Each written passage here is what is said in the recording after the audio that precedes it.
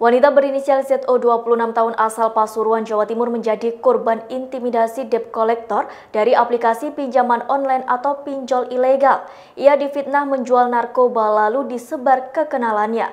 Pengalaman itu dialaminya selama 4 bulan dalam kurun waktu Desember 2019 hingga Maret 2020. Diketahui ZO awalnya hanya meminjam pada satu aplikasi pinjaman online ilegal. Saking curangnya permainan layanan peminjaman uang dari pinjol ilegal itu terpaksa membuat ZO memasang aplikasi pinjaman online ilegal hingga 10 aplikasi.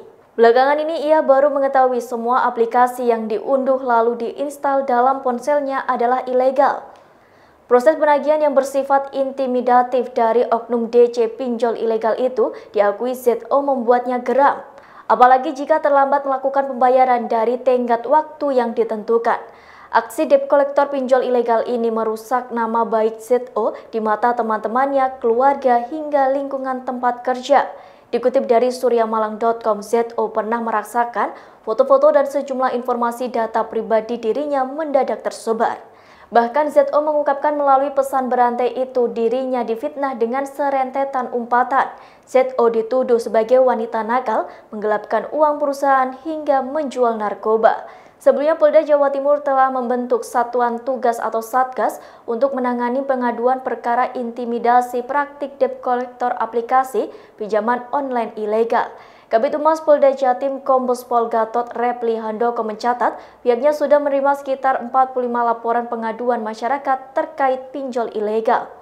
Kini ada dua laporan yang sedang didalami oleh penyidik Subdit 5 Cybercrime Ditreskrim Sus Polda Jawa Timur. Seperti diketahui kejahatan penipuan yang terjadi di industri pinjol menjadi perhatian Presiden Jokowi.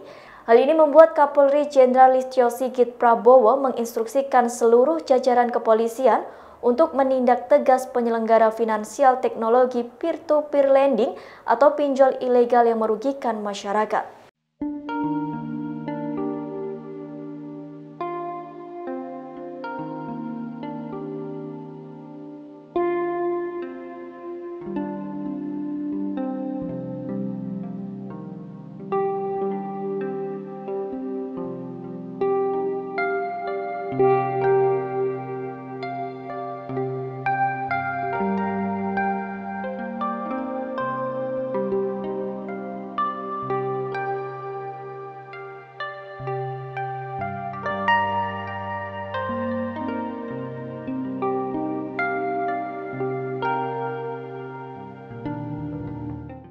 Demikian informasi kali ini, saksikan terus berita lainnya hanya di kanal Youtube Tribun News. Terima kasih sudah nonton, jangan lupa like, subscribe, dan share ya!